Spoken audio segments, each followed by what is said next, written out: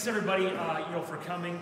You know, at Chevrolet, when we when we do these events, we try to immerse you in not just the story of the product, but put you in an environment that really speaks to what we feel about that product and uh, who our customer is, etc. So we're very fortunate to be in a pretty unique space with a great friend of Chevrolet. His name's Jonathan Segal.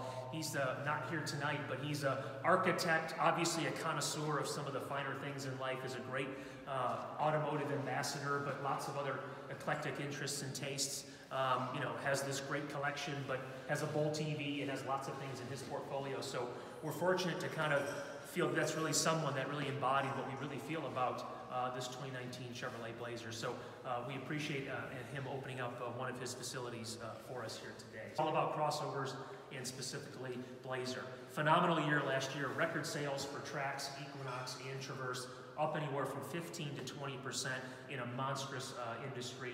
Uh, record numbers for us across all three of those products. And it really is about having the right product at the right time. You can't get enough crossovers. We're often asked, how many is too many? You know, when is that, that, that when is that, uh, you know, kind of change your thinking? It is not changing our thinking right now. We are clearly poised, we think, to continue to capitalize on that with a product like Blazer. Um, it, it's just going to be a, a great entry to our portfolio and we think we're off to a great start. You know, one internal statistic we use is called consensus, which is basically a barometer of dealer demand. We go out to our dealers about every two weeks and we say, we can build X number of each of these products, and you have earned this percent of that product. Dealers can ask for more. So what we've seen on Blazer is they're asking for three times the amount that we're offering up. And we're offering up a pretty aggressive uh, amount of production. Now what that says is they have a lot of uh, interest we see from consumers. Blazer actually has 92,000 hand raisers since our reveal uh, in the spring or summer, early summer of this year. It's the second highest hand raiser quantity we received on a Chevrolet product, trailing only the new Silverado. So there's a lot of built-up interest for this category, uh, segment, and product. And from a business standpoint, I mentioned those business metrics earlier, but we have a lot of positive receptivity. ALG came out with their res initial residual value estimate for, uh, for Blazer, and it was higher than Grand Cherokee, higher than Edge, higher than Murano. What that says is the combination of a, of a phenomenal product with great business strategy is paying off, and it's going to allow us to do, we think, good things in the market there. You know, uh, Blazer is going to benefit from the launches that preceded it. So Equinox and Traverse, we did a number of things to really fundamentally change our business. It obviously starts with a great product, but this is about incentive spend, distribution strategies, how we go to market. We've learned a lot from previous launches, and what we're going to do with, it, with this product is essentially don't screw up a good thing. So, you know, the old line from the shampoo business, rinse, lather, repeat, that's really what we're going to do with Blazer. We're not going to overthink this. We've learned a lot from previous launches, and we'll put those things in play uh, for Blazer. So let's talk about mid SUV and let's let's talk about Blazer a bit. Um, Second fastest growing segment in the industry, behind only small SUV. Uh, the number three overall volume segment, so it's, it's, it's moving up the charts here. And all of the forecasts that we see, whether it's short term or I guess a bit of a midterm horizon, show significant growth uh, in the mid SUV segment. Interestingly, I think we all know this, once people get into a crossover and SUV, they tend to stay there, and that is indeed true. About 70% of people who get into these products stay within the overall crossover SUV segment. Mid SUV loyalty, so if you have a mid, you buy another mid, is about 40% loyalty. But interestingly, two row is a lower number than that. What that says is that there's a customer here who likes that space, but maybe likes to look for something new because design and newness is an important part in the two row. And I think that having the newest and freshest product there is going to serve us well. Um, another thing, 19 total entries, but only six now are two row entries.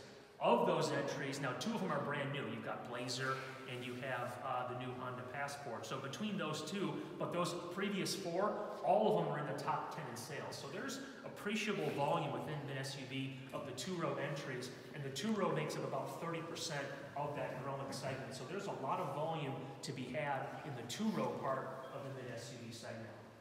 Another fundamental difference is if you ask people in the three row why you bought the product, they're going to list things about functionality, capability, I needed the third row, and that's true, and they still like styling and tech, etc. But there's purpose-driven reasons why people are getting that product. Two row, very interesting, people will say, it's design and styling, right? And quite often, you know, people like to have that intellectual alibi. I have to kind of justify why I bought something. But in this segment, people just are, are unabashedly say, I like the looks, you know, and I wanted it. And there's not necessarily anything wrong with that. But the other interesting thing is people have the financial wherewithal to do it. Second highest household income of all non-Lux segments is the two-row mid-SUV buyer. So they have the psychological need and desire and fit for this product, and they have the means by which uh, to get it. So we think that, that bodes well for Chevrolet and bodes well for uh, our go-to-market approach with Blazer.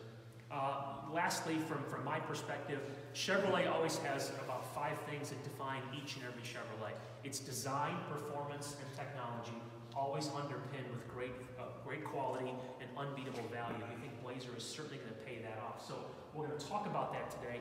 Make no mistake, we are going to put design front and center in our communications, but we are not going to let people forget that underneath that, this is a highly functional, capable crossover SUV with great technology, safety features, etc., because that's what people demand and what they're looking for. Starting at $29,995, well equipped, and a nice walk up through the three different personalities trims. So again, kind of the debut of a new kind of trim strategy approach for Chevrolet.